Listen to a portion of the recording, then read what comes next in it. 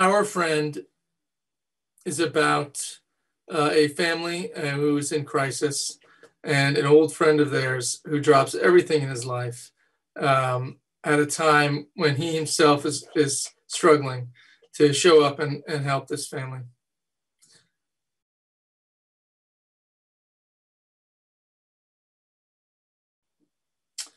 When I first read the script, I was really touched by um, a story of friendship. Um, it was a true story.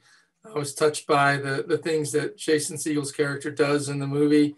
Uh, and also, um, uh, I was really moved to see such a sort of real and vulnerable, candid depiction of a marriage uh, that, you know, has all kind of problems in it. Um, but that uh, in the end, it's uh, two, two people that who find a way to love and support each other um, when things go terribly wrong.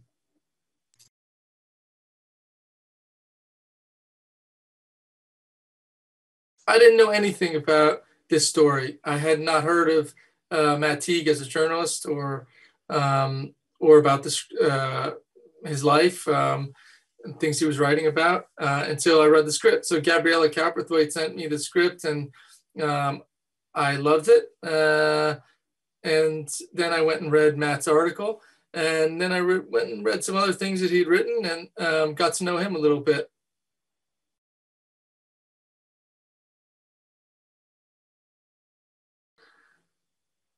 Um, Matt Teague, the author of the article, was involved in the development of the script. Uh, he was also around on set uh, a lot. Um, he was really supportive. Um, he's a great storyteller, and uh, he didn't mind that I didn't seem anything like him.